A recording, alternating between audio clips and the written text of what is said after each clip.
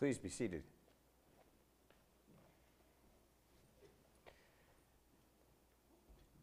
So, two lines from today's gospel have been known to move me to tears. So, let me apologize right up front should these words do so again. The man from whom the demons had gone begged that he might be with him. But Jesus sent him away, saying, Return to your home and declare how much God has done for you. So he went away, proclaiming throughout the city how much Jesus had done for him. Why these words move me so deeply is owed to one particularly formative experience they bring to mind.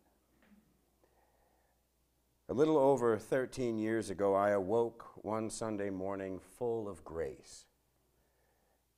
Just to say, I was literally overflowing with gratitude and joy and excited by the prospect of worship. Because that day, by the grace of God, marked seven months of sobriety for me. But as it turned out, my younger son wasn't feeling well, so it seemed that church was off the table.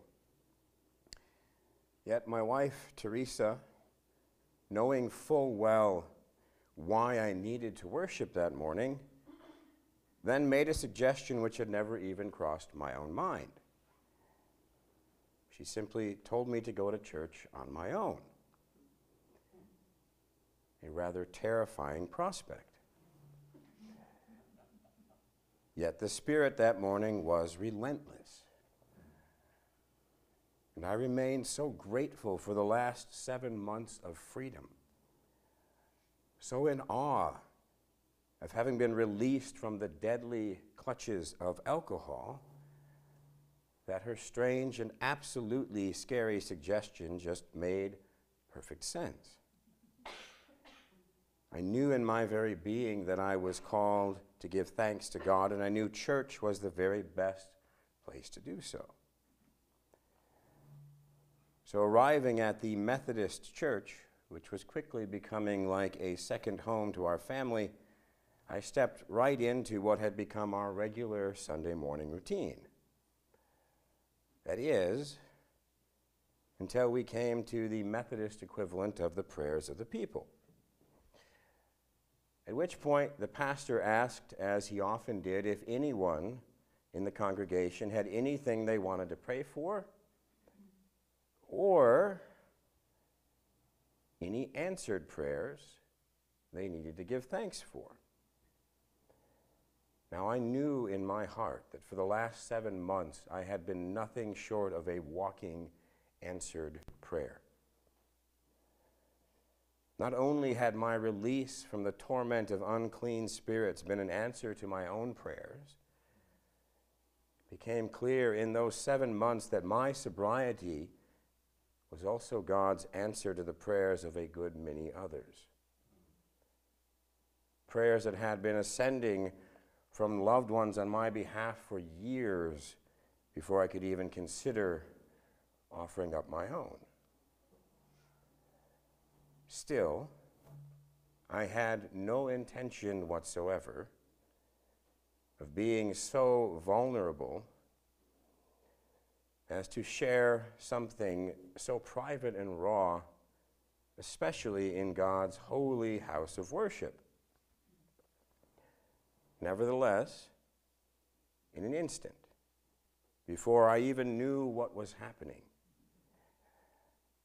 the same Spirit which had called me to church that day by all but demanding that I express those feelings in the form of corporate worship raised me to my feet and suddenly burst out at the top of my voice for everyone to hear. By the grace of God, I have seven months of sobriety today. Thanks be to God. And as quickly as I had been raised up, my legs gave way, as if they'd been kicked out from under me. And I crumpled into a pile on the hard wood of our pew. I was absolutely mortified. I was so embarrassed that had it been possible, I would have slithered under our pew and out the back doors. After managing to get myself basically upright in the pew again, I glanced up and was greeted by the face of someone who surprisingly looked even more embarrassed and horrified than I felt. You see, there was a certain choir member named Rick, whom I had come to know particularly well over the past few months. And Rick was not only my brother in Christ, he was also my brother in another sense, as he was a member of the Fellowship of Alcoholics Anonymous. And seeing his gentle face had become an important, if not essential, part of a particular Tuesday night meeting that I, for one, didn't dare miss. Except now, the face of my friend almost perfectly matched his gray choir robe. And I'm betting that if he could have opened his eyes any further, they would have simply rolled out of his head. As those terrified eyes met mine, his head gave a little shake instantly conveying to me his one simple request For the love of God, please don't out me.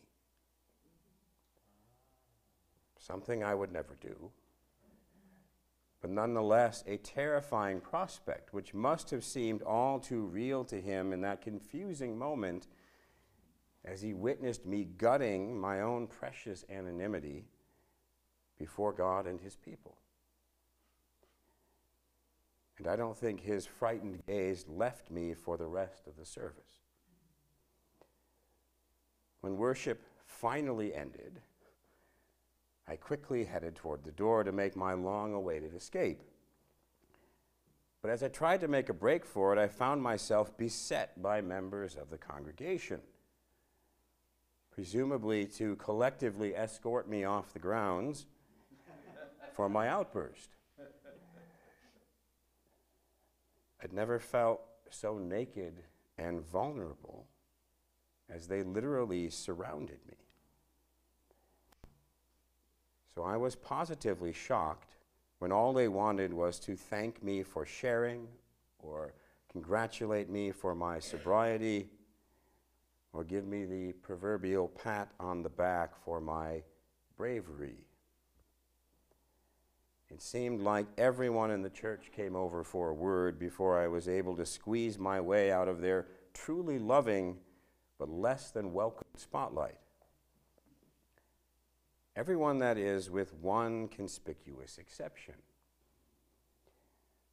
The only one who intrinsically knew the gift that I had received. The one with whom I had once shared the weighty chains of addiction which had shackled both of us to our next drink. The one who must have truly understood my experience of being set free, who knew what it was to be drawn out of sheer insanity into our right minds. My fellow alcoholic, to whom I felt I owed a slightly more significant apology than the one I had hastily prepared and yet failed to deliver to that oddly joyful mob was nowhere to be found. I could only assume, fearing guilt by association, Rick had managed the very escape which had utterly eluded me. But knowing that I'd have an opportunity to smooth things out with him that Tuesday, I felt free to finally make my way home where I hoped to apologize to Teresa for all that she had missed and to try to explain an embarrassing display for which I myself had no real explanation. As a couple of days passed, I began to think less and less about my outburst Then the Tuesday night meeting came, but Rick did not. The following Sunday, I scared up some courage and we made it back to church as a family. Rick was there, and so from across the church, we exchanged our usual nod and awkward smile, but nothing more. And I figured, enough said. That Tuesday, Rick was back at the meeting, and it seemed like things were moving toward status quo until the meeting was over when Rick suddenly made a beeline for me at a near sprint. Not the kind of maneuver I would expect from someone I'd come to know as an incredibly shy introvert. And his all but lunge was made not with fearful eyes, but with those clearly trying to blink back the tears as he posed this horrifying question to me Do you know what you did? Well, I did and I didn't.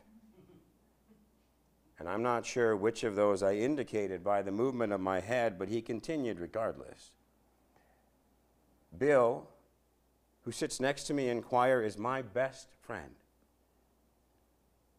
We've been best friends for, I don't know, 50 years. And we've sat next to each other in that choir for 20 of those years. He paused long enough to swallow the lump in his throat and to give me just enough time to begin imagining a few of the possible catastrophic outcomes to which my announcement may have contributed before he continued. Andy, I have been sober for two years. And no one outside of AA, other than my wife, knows. Hell, most of my family and friends don't even know I'm a drunk. Observing another slight pause before he could proceed. Two Sundays ago, my wife and I had brunch with Bill and his wife, just like we do every Sunday. But that day was different. Because that day I finally told my best friend that I'm a recovering alcoholic. No longer trying to hold them back, the tears now rolled down his cheeks, as free as could be. And as I watched my brother simply let go, I couldn't help but smile.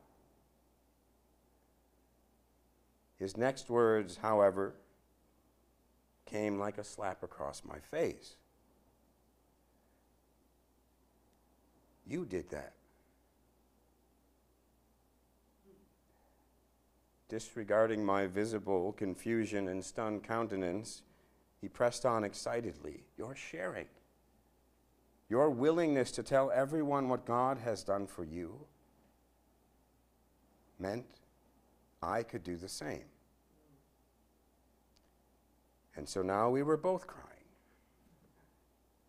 as we reached in and shared a genuine, if uncomfortable, embrace. He gave my shoulders a little shake, looked me in the eyes, and whispered, Thank you. I was moved, to say the least, but also quite confused. I hadn't done anything. It wasn't I who'd set him free from the bondage of alcohol. I didn't have the power to cast out his demons any more than I did to cast out my own, and I knew this because I'd been trying to cast out mine for years. Not to mention the fact that when he first got sober two years earlier, I can guarantee you I wasn't anywhere near an AA meeting on Tuesday nights. I was almost certainly climbing into a bottle, as I did almost every night. So, what did any of this have to do with me and my embarrassing outburst? I was happy for Rick, but certainly not responsible for his sobriety or for his revelation to his friend.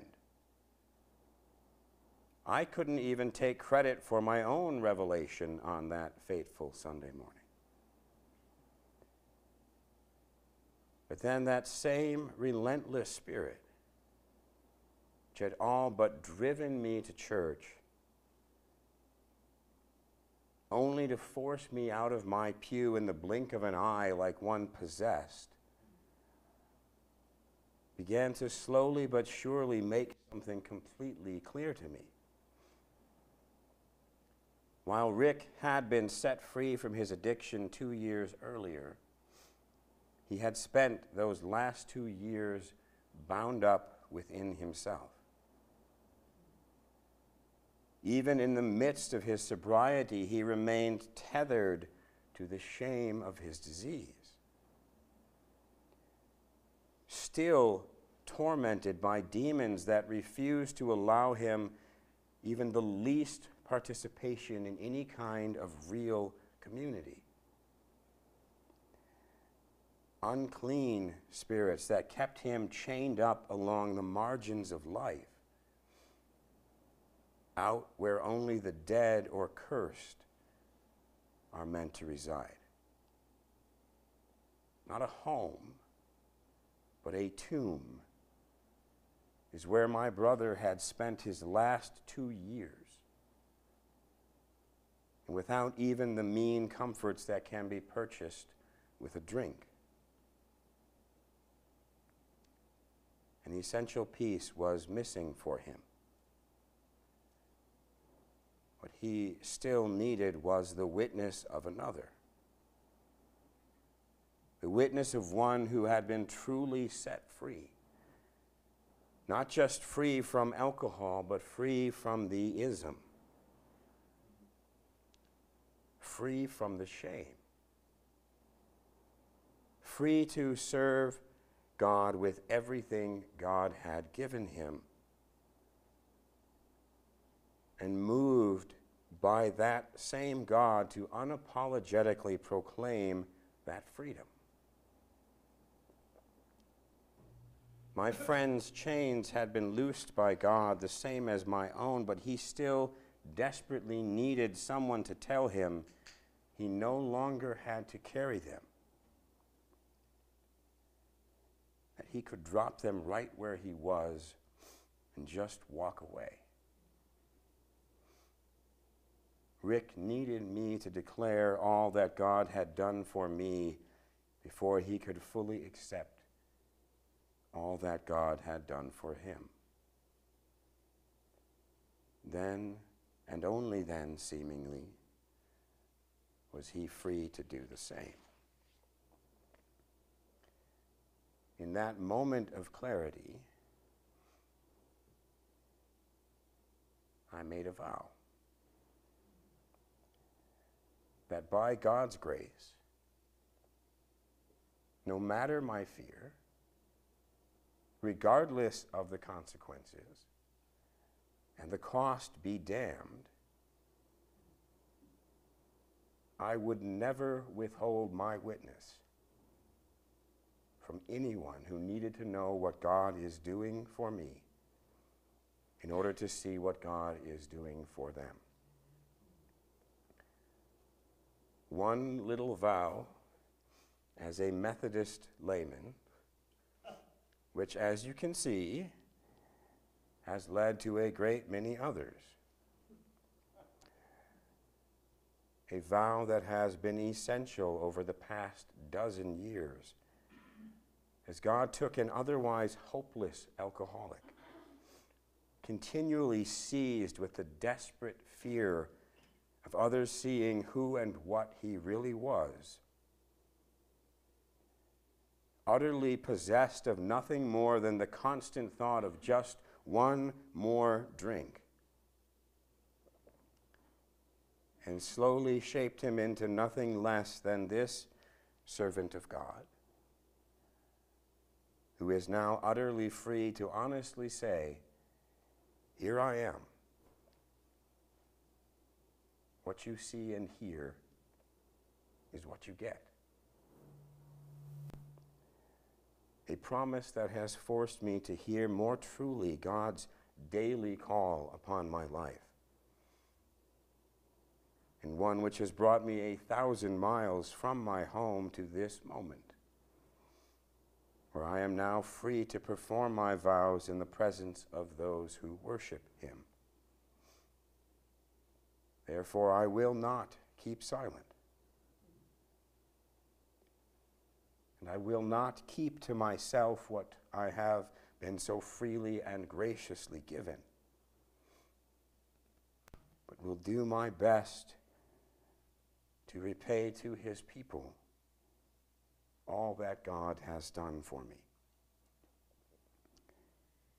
I will go wherever he sends me. And I will speak the truth of salvation in Jesus Christ alone to whomever he gives me.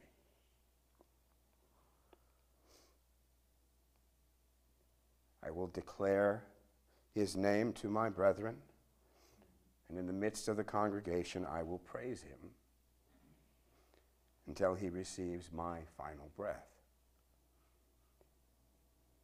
All the while praying that you will do the same. And for that, I dare not apologize. Not now, not ever. In the name of the Father, and of the Son, and of the Holy Spirit.